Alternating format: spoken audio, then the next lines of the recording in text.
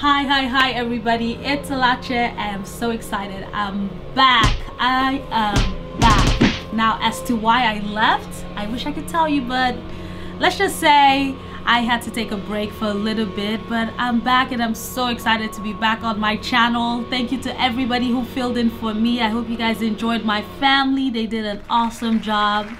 Good job. Good job.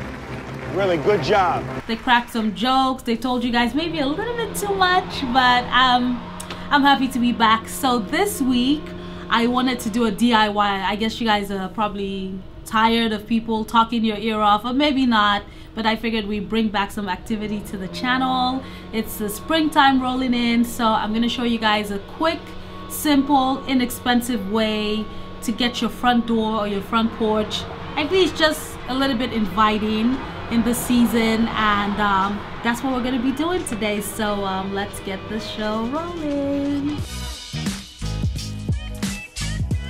All right you guys so just to get oh by the way we're outside and I literally live like on the road. So excuse the cars.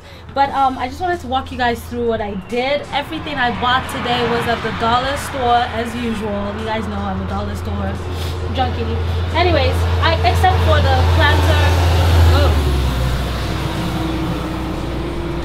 except for the stands that i'm putting the the little planters in that i got from home depot uh, they were like 15 16 bucks thereabout so basically what i did was i wanted to have like the cactus, like the greens, the moss kind of going on with this.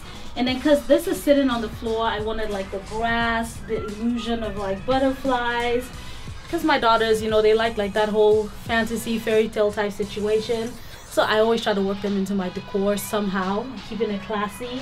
So I had that, so that kind of bounces off on that end. And then here I just put in like some neutrals, you know, like cream colors, and a little bit of white blooms just kind of sprouting out and then just you know hint of lavender here and and light yellow and the moss was like a dollar for the bag and I just used that to just kind of accent that piece up. And this cute little things which I plan on getting some more the LED like little lamps so I plan on getting some more of that.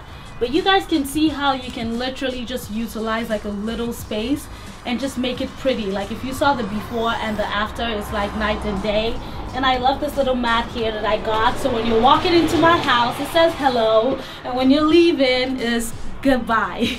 But so um, I'm just super excited and just excited about this season. And I'm gonna be showing you guys more tips on how I plan on just bringing seasons into my home just little changes. You'll see how I'll change this out like in the summertime or the winter whatever or in the fall. You guys will see. So another tip I have for you guys I didn't have time to get that done today but this wall here I feel like there needs to be something happening here. So I plan on getting like some cocoa liners and just put it in the planter and just hanging that out.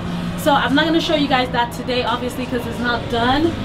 But in another video I'll make sure that I kind of show you guys like the finished product and maybe it'll be done before this video comes out and I'll put a picture up so you guys can see what that looks like. I hope you guys enjoyed everything today and I will see you back next week.